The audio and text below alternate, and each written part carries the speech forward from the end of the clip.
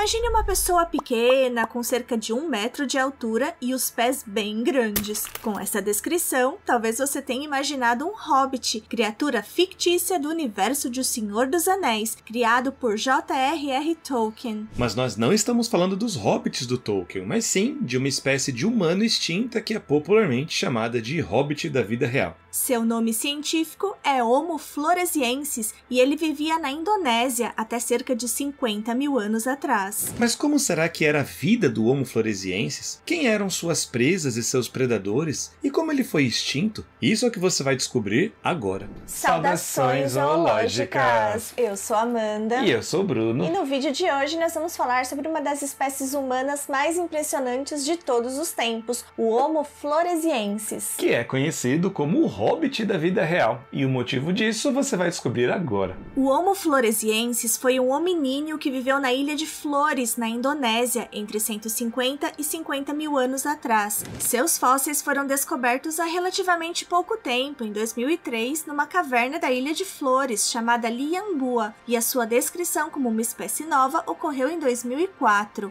O nome da espécie, floresiensis, é uma referência à ilha de Flores, onde seus fósseis foram encontrados. A descoberta do Homo floresiensis foi feita por pesquisadores australianos e indonésios. Os fósseis consistiam em um esqueleto quase completo de uma fêmea adulta. Esse exemplar recebeu o nome LB1, que é um código de identificação relacionado à caverna em que foi encontrado. Hoje já são conhecidos 12 exemplares de Homo floresiensis. Diferente de todas as espécies do gênero Homo descobertas até o momento, o Homo floresiensis tinha pequeno porte, com cerca de um metro de altura. Seu crânio e, consequentemente, o cérebro eram pequenos. Para se ter uma ideia, o seu cérebro tinha o tamanho aproximado do cérebro de um chimpanzé. Mas além do tamanho diminuto, uma outra característica bem marcante do Homo floresiensis são os seus pés, que são desproporcionalmente longos. Por causa dessas características, o Homo floresiensis recebeu o apelido de Hobbit, que é um tipo de raça dentro do universo da mitologia de O Senhor dos Anéis de Tolkien, eternizada pelos filmes do Peter Jackson. E vamos combinar que esse apelido foi bem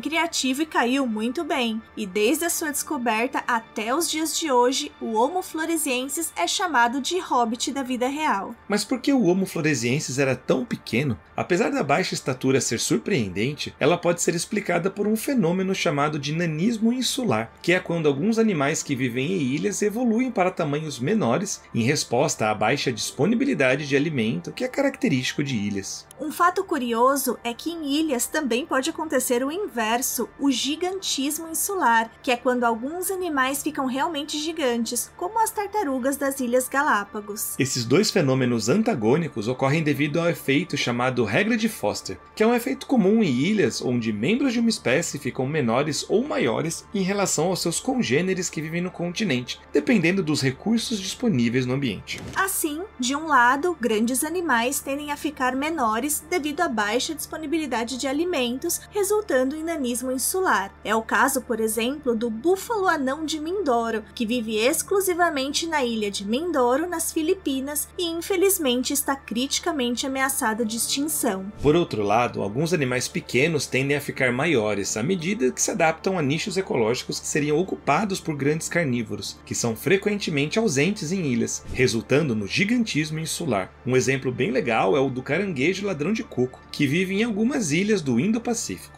Um exemplo claro de nanismo insular entre os animais extintos é o do Paleoloxodon, um tipo de elefante anão que vivia nas ilhas de Creta, Sicília e Malta, no Mediterrâneo, entre 500 e 200 mil anos atrás. No caso do gigantismo insular, um caso bem legal é o do ganso gigante Garganornis, que viveu numa ilha da Itália no final do Mioceno, entre 11,6 e 5,3 milhões de anos atrás. Além do tamanho pequeno, uma característica que chama chama a atenção no Homo floresiensis é o seu menor volume cerebral, e isso fez alguns pesquisadores levantarem a hipótese de que ele pode ter sido simplesmente um humano moderno, um Homo sapiens, só que com alguma má formação congênita. Logo que o primeiro fóssil de Homo floresiensis foi descoberto, alguns paleoantropólogos não acreditavam que o espécime, o LB1, representava uma espécie diferente, argumentando que o achado era de uma subespécie onívora de Homo sapiens de pequeno porte, assim como os pigmeus, e que o pequeno crânio se devia a alguma anomalia, como microcefalia, que produz um cérebro e crânios pequenos. Mas depois, escavações realizadas entre 2003 e 2004 revelaram mais sete outros esqueletos da mesma caverna e todos com a mesma baixa estatura. A hipótese da microcefalia também foi refutada por diversos autores que estudaram o crânio do LB1, inclusive com a técnica de tomografia computadorizada. Em resumo, as proporções do crânio do LB1 não correspondem perfeitamente àquelas encontradas em crânios com microcefalia. Além disso, os lobos frontal e temporal do LB1 são bem desenvolvidos, o que não é compatível com um cérebro microcefálico. O fato é que, até pouco tempo atrás, o crânio do Homo floresiensis ainda era estudado sob essa perspectiva de microcefalia ou de outras possíveis doenças congênitas, mas sem evidências que comprovem qualquer uma dessas condições. Para além da questão do tamanho do crânio, também não faz sentido esses fósseis pertencerem a uma subespécie de Homo sapiens por causa da anatomia peculiar dos membros, como os pés proporcionalmente maiores, diferenças na dentição e a ausência de queixo, que por sinal é uma característica exclusiva de Homo sapiens. Além disso, os fósseis do Homo floresiensis apresentam algumas características semelhantes a outras espécies humanas mais antigas. Por exemplo, os ossos dos ombros são voltados para frente, mais parecidos com os de um Homo erectus.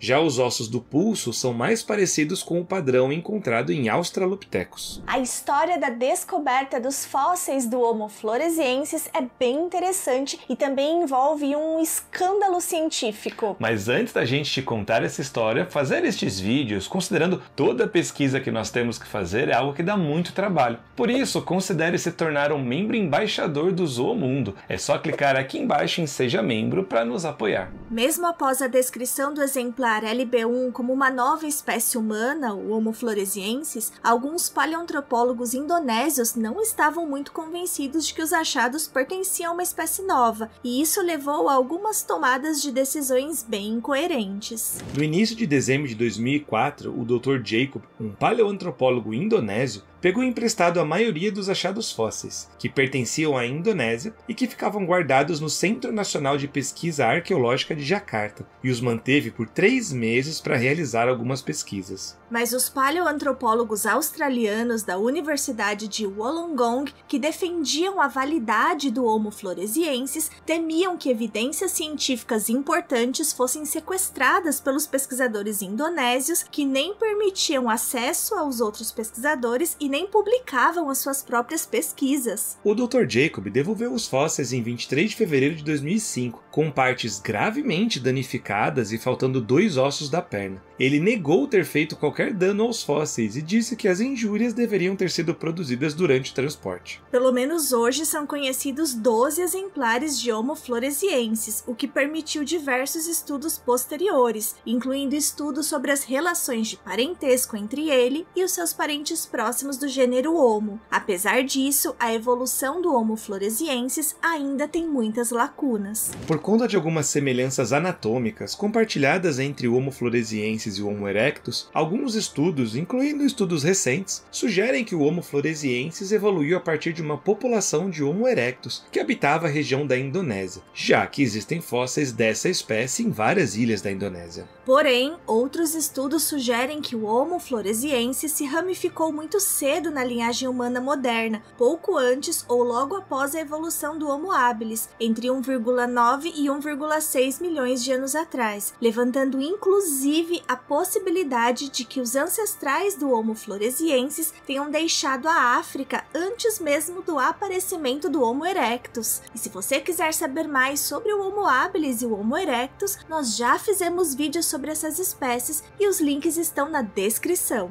Mas basicamente, essa confusão toda acontece porque o Homo floresiensis possui um mosaico de características encontradas em várias espécies de hominíneos. Por exemplo, enquanto seus ossos das mãos e dos pés se assemelham mais com os dos australopithecus e do Homo habilis, sua dentição é mais consistente com a dos Homo erectus que viviam na Ásia. Pois é, esse hobbit é realmente bem peculiar. E para variar, somente com mais descobertas e mais pesquisas poderemos ter mais pistas sobre a evolução do Homo floresiensis. O Homo floresiensis viveu até cerca de 50 mil anos atrás na Indonésia. Agora, por que será que ele desapareceu do planeta? A ciência ainda não sabe ao certo como o Homo floresiensis foi extinto. Os fósseis mais recentes da espécie têm cerca de 60 mil anos de idade. Porém, existem fósseis de ferramentas produzidas pelo Homo floresiensis um pouco mais recentes, de cerca de 50 mil anos atrás. Isso significa que há 50 mil anos o Homo floresiensis ainda estava por aqui. Curiosamente, 50 mil anos atrás é próximo da época em que os humanos modernos, ou seja, os Homo sapiens, chegaram à área, sugerindo que o encontro inicial causou ou talvez apenas contribuiu para sua extinção. Então, será que de fato a nossa espécie contribuiu para a extinção do Homo floresiensis? Bem, isso é plenamente possível, mas não temos evidência sobre isso. É possível também que o que tenha causado a extinção dessa espécie tenha sido erupções vulcânicas que ocorreram na ilha, ou ainda uma combinação desses dois fatores. O fato é que o total desaparecimento do Homo floresiensis permanece uma questão em aberto. O antropólogo canadense Gregory Forth teorizou que o Homo floresiensis pode ter sobrevivido até os tempos modernos, citando lendas locais do povo indígena Liu sobre uma criatura semelhante a um macaco, que eles chamam de Laoha. Alguns membros da comunidade científica consideram as afirmações de Forth extraordinárias e, obviamente, carentes de evidências conclusivas. E o que será que a ciência sabe sobre o modo de vida e a sociedade do Homo floresiensis? Como já mencionamos, ferramentas de pedra lascada também foram encontradas na mesma caverna junto com os fósseis, mas o mais impressionante é que foram encontrados mais de 10 mil artefatos de pedra lascada, o que indica que eles já dominavam com exímio a arte de manufaturar ferramentas, e eles provavelmente utilizavam essas ferramentas para cortar carne e vegetação. Apesar dos esqueletos e das ferramentas terem sido encontrados em cavernas, vale a pena ressaltar que as populações de humanos arcaicos não viviam o tempo todo em cavernas, como diz o senso comum. Inclusive, a gente já falou sobre isso no vídeo sobre os Neandertais, que também está na descrição. O fato é que eles provavelmente utilizavam as cavernas para se proteger de determinadas situações, como em épocas de chuva intensa. Além de ferramentas, na mesma caverna também foram achados fósseis de um elefante pré-histórico anão, do gênero Stegodon, que assim como o Homo floresiensis representa um caso de nanismo insular.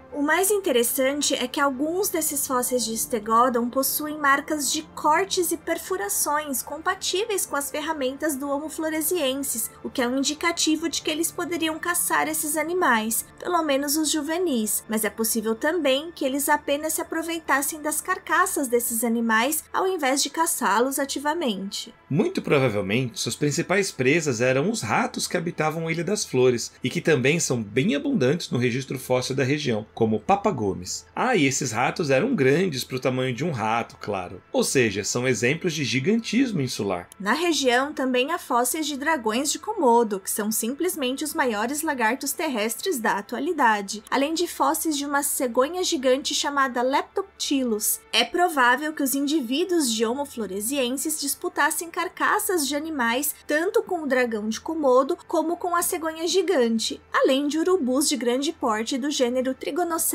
Mas também é bem provável que eles fossem caçados por esses lagartões. Então suas ferramentas também poderiam ter sido bem úteis para se defender desses animais. É, com essas aves e lagartos gigantes, a vida do Homo floresiensis não deve ter sido nada fácil. Apesar deles serem exímios produtores de ferramentas, não há nenhum indício de que eles dominavam o fogo. Também não sabemos se eles tinham capacidade de falar, mas certamente tinham alguma forma de comunicação. Mas como será que eles se relacionavam? Será que eles pensavam sobre a vida ou sobre si próprios? Esses são mistérios ainda sem resposta sobre esses hobbits da vida real. Apesar de pequeno e com um cérebro proporcionalmente menor, o Homo floresiensis era uma espécie relativamente derivada de humano. Mas você sabe qual foi a primeira espécie humana da história? Isso é o que a gente te conta neste vídeo aqui. Nos vemos no próximo vídeo. Tchau.